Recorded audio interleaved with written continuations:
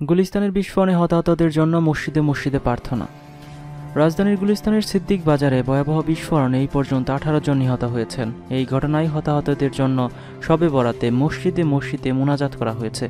মঙ্গলবার দিবাগত রাতে রাজধানীর বিভিন্ন মসজিদে খতিবরা এশার নামাজের পর হতাহতদের জন্য দোয়া করেন। এ সময় মুসল্লিরাও কান্না করে তাদের জন্য প্রার্থনা করেন। অনেক মসজিদে শবে বরাতের নামাজ আদায়ের পরেও গুলিস্তানের বিস্ফোরণে হতাহতের জন্য মোনাজাত করেছেন বলে জানা গেছে। প্রত্যক্ষদর্শীরা বলছেন, হঠাৎ করে বিকট শব্দে বিস্ফোরণ ঘটে। তখন নর্থ সাউথ সড়কের দুই পাশেই যান চলাচল করছিল। সদরঘাট থেকে গুলিস্তানগামী এই সড়কে ঢাকা মহানগরীর অন্যতম ব্যস্ত সড়ক। বিস্ফোরণের পর সড়কের বিভিন্ন অংশে রক্তাক্ত অবস্থায় অনেক মানুষ পড়েছিলেন। তাদের অধিকাংশই তখন সড়ক দিয়ে চলাচল করছিল। তাদের কেউ বাসের যাত্রী, কেউ রিক্সা ভ্যানে যাচ্ছিল। আবার কেউ কেউ ছিল পথচারী। কেউ কেউ দোকানে এসেছিলেন কেনাকাটা করতে। অন্যদিকে সিলেন নামাজে বিস্ফোরণের খবর শুনে রক্ত দিতে ছুটে এলেন ডামেকে। নাম হচ্ছে মোহাম্মদ তন্ময় মুস্তাফিজ মন্টি। পেশায় একজন ঠিকাদার। থাকেন মিরপুর কাজীপাড়ায়। দিনের কর্ম ব্যস্ততা শেষে পবিত্র শবে বরাতের নামাজ আদায় করছিলেন। এরই মধ্যে রাজধানীর সিদ্দিক বাজারে ভয়াবহ বিস্ফোরণের সংবাদ পান। ছুটে আসেন ঢাকা মেডিকেল কলেজ ডামেক হাসপাতালে। খুঁজতে থাকেন রক্তদাতাদের বুথ। স্বেচ্ছাসেবকদের সহায়তায় রেজিস্ট্রেশন করে উদ্বিগ্ন মনে দাঁড়িয়ে যান রক্তদাতাদের অপেক্ষমান লাইনে। কেবল মুস্তাফিজ মন্টি নয়, আহতদের রক্ত দিতে এমন অসংখ্য মানুষ এসে জড়ো হন ডামেকে।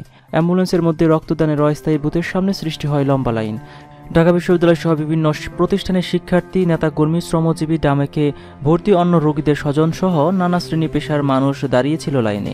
অপরদিকে ডামেকের জরুরি বিভাগের সামনে ছাত্রলীগের একদল স্বেচ্ছাসেবক প্লেকার্ড নিয়ে অবস্থান নেন, যেখানে লেখা ছিল, রক্ত লাগলে যোগাযোগ করুন।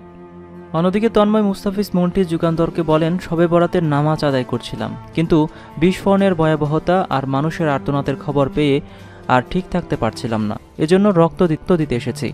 কিন্তু সিরিয়াল অনেক বড় বুথ থেকে আগামীকাল বুধবার রক্ত দিতে বলেছে। কিন্তু আমার একটা কাজ থাকায় এবং পরদিন রোজা রাখব, এজন্য স্বেচ্ছাসেবকদের রক্ত গ্রহণের অনুরোধ জানিয়েছি।